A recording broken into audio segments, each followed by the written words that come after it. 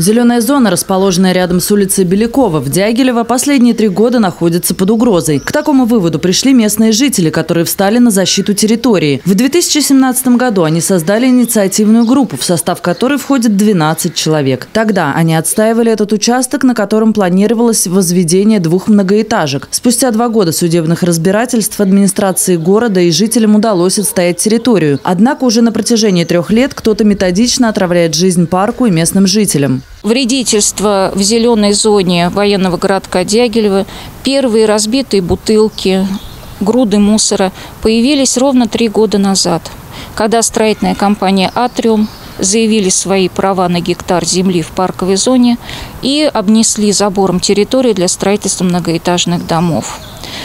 В этом году у нас погибли все ежи. Их просто находили мертвыми под кустами – Раньше ежей было очень много, вот идешь 3-4, всегда дорогу тебе вечером перебегают. Деревья э, уничтожали не только сухие. Почему мы так переживали за деревья? Потому что были срублены молодые дубы, которые сажал наш ветеран. Местные жители считают, что вред парку наносит некий застройщик, который хочет завладеть этой зеленой зоной. К неприятностям, которые пришлось пережить местным жителям, относится и массовая гибель птиц. Этой весной было найдено порядка 250 погибших грачей. Больше половины, около 180 птиц, прошли патологоанатомическое исследование, вскрытие. Э, на яды их проверяли. Разные виды исследований было.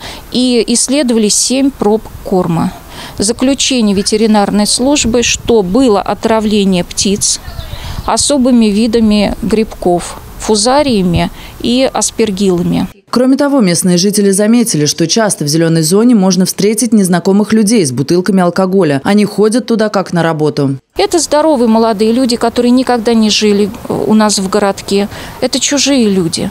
И почему они с утра собираются в парке по два, по три человека, собираются с сумками, с выпивкой, сидят и в течение дня пакостят, потому что вечером возвращаешься с работы, уже видишь сваленное дерево, распиленное дерево.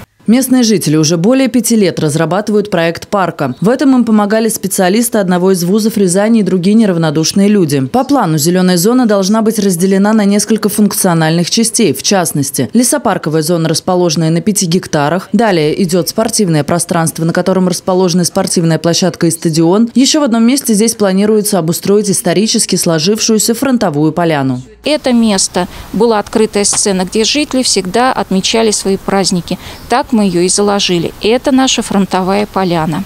Затем идет мемориальная зона. Она начинается самолетом Ту-16 при въезде в военный городок. По правую руку увидите стелу, которая слава авиации. И вся центральная аллея от входа до э, контрольно-пропускного пункта воинской части до музея дальней авиации. Это будет аллея славы. Пока воплотить в жизнь идеи, зафиксированные на бумаге, невозможно. Жители не могут добиться официального присвоения этому месту статуса парка. Хотя Рязанская топонимическая комиссия уже утвердила его название – Мемориальный парк славы дальней авиации имени Героя Советского Союза генерал-лейтенанта Александра Белякова. Однако некоторые продвижения в уходе за парком уже наблюдаются. Когда люди почувствовали, что они могут потерять парк, вот это вот патриотическое чувство нас объединило. Субботников было много и в 2017 году. В 2018 мы уже объединились с организацией «Эра», которые дважды нам помогали с мешками, с перчатками и приезжали на нашу территорию, помогали с вывозом. А вот в 2019 году мы попали на заседание городской думы 4 октября с представителями администрации по нашим парковым вопросам. И пошло уже э, хорошее взаимодействие жителей э, с администрацией и представителями городской думы. Нам стали помогать в наших субботниках. Кроме этого, у местных жителей есть желание открыть музей истории авиагородка Дягилева. Сейчас он есть в соцсетях. Инициаторы говорят о том, что им было выделено помещение старой поликлиники. Однако в нем нет ремонта. Там же планируется разместить и несколько кружков, а также библиотеку. Однако ситуация пока не двигается с места и занятия временно проходят в другом месте. Люди говорят о том, что им бы хватило экспонатов на два музея. Они очень надеются на то, что на их проблемы обратят внимание, а зеленая зона наконец станет парком, после чего появится финансирование для его благоустройства.